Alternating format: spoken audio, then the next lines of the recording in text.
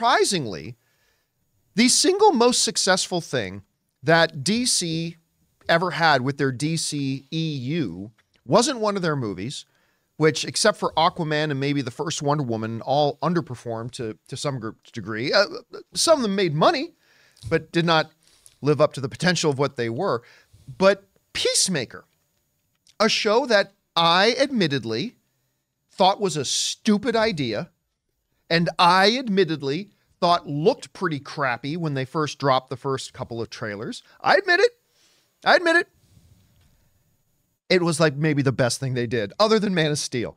And it became like the number one show in the world for while it was running. So it was no real big surprise that when James Gunn and Peter Safran announced the new DCU replacing the old DCEU, that if there was anything they were going to bring over, it was going to be that. But how would Peacemaker fit in and, you know, kind of reconcile what is going to be massive differences between the old universe, the DCEU, and this brand new DCU? Well, apparently the answer was something I didn't think about. Peacemaker Season 1 isn't going to be canon to the new DCU. This comes from the folks at CBR who write the following.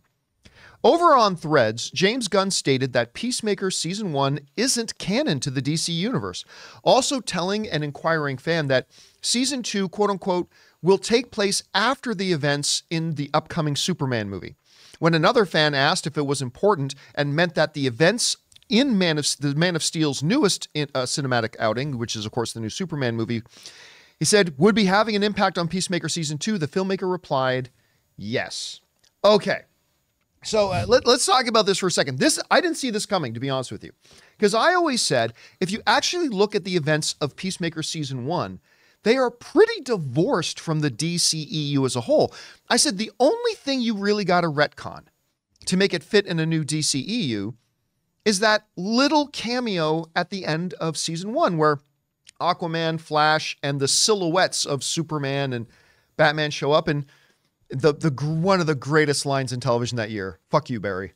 That was like one of the greatest lines in television that year. All you really had to do was take that out, and you could make an argument that it didn't actually happen in the DCEU, just some DC universe. But what I didn't really think they would do is what James Gunn is saying is just, we're just going to say season one isn't canon to what's going on in the new DCU.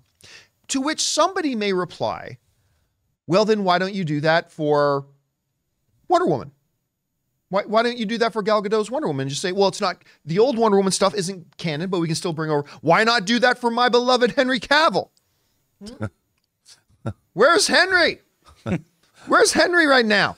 Why didn't you do that for Henry Cavill? I mean, all you had to say is that Man of Steel and the, and the movies he was in was not canon to the DCU.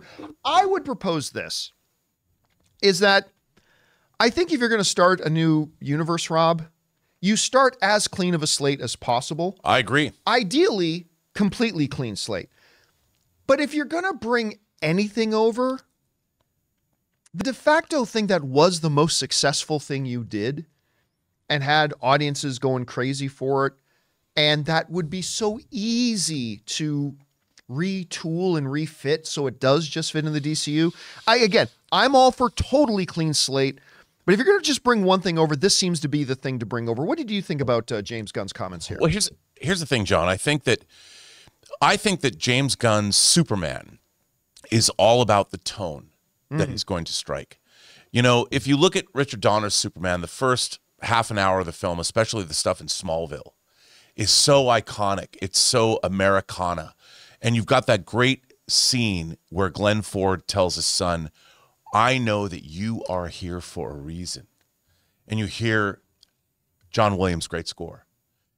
I think James Gunn is going for that kind of tone. And I think when you look at Peacemaker, that the tone of Peacemaker, dude, it's awesome.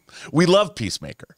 But the tone of the show I think is, and I know nothing. I've not read the script. I don't know anything about James Gunn's Superman or what happens, but I think the tone of Peacemaker is probably diametrically opposed to hmm. what he's trying to do with his Superman movie.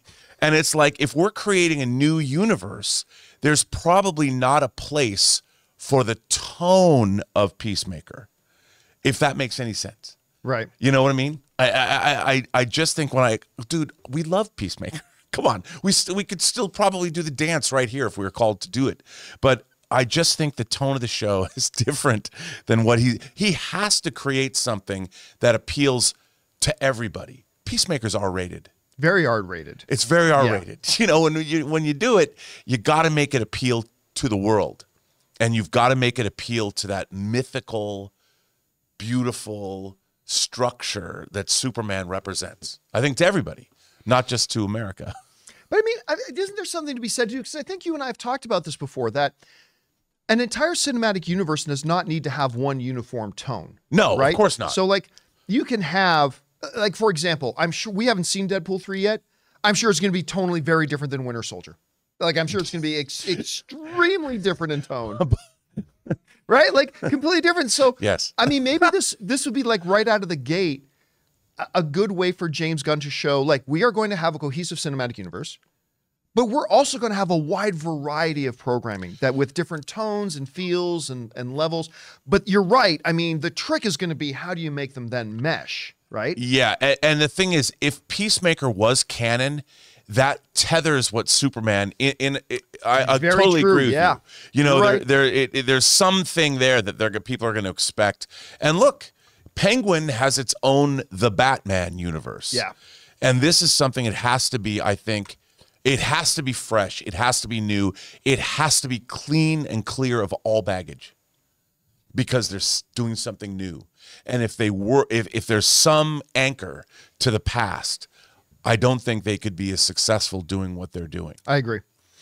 Guys, we want to take a second to thank a sponsor of today's video, Harry's. You know, guys, in order to start the John Campea show, I had to leave my high paying corporate job in order to set myself up to be happier and enjoy more personal success. Because sometimes to get what you want, you have to challenge the status quo and blaze your own trail. And that's exactly what the folks at Harry's did. You see, at Harry's, they saw customers getting ripped off by questionable products in the shaving industry and decided to do something better. Harry's decided to pave their own road by making beautifully designed razors for a fraction of the price of the other big brands.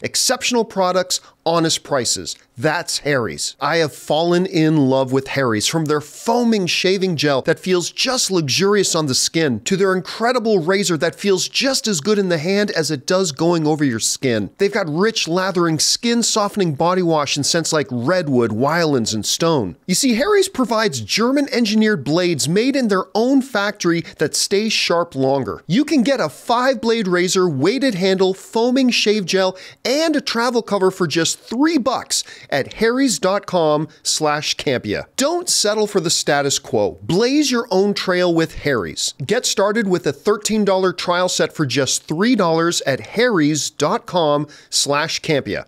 That's harrys.com slash campea for a $3 trial set.